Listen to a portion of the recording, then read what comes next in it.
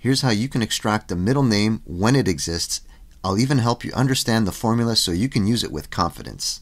Alright, so let's break down all the functions I use in this formula, starting with the TEXTSPLIT function. Here in the first argument, I'm telling it to look at the value in D3. In the second argument, I'm telling it to split that based on the empty spaces between each name. In this case here, it returns an array with three values. Next is the COUNTA function. I nestle the TEXTSPLIT function into the COUNTA function.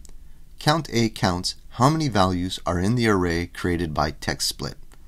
In this case, it returns a value of 3.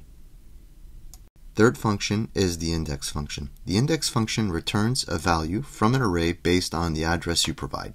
The first argument is the array created by the TEXTSPLIT function. The second argument is the address of the middle name within the array. Lastly, I put all this into an if function. If COUNTA of TEXTSPLIT returns a value of greater than 2, then return the middle name using the index function. Otherwise, leave it blank. The entire formula is available in the video description. I also created a full video where I cover the first and last name.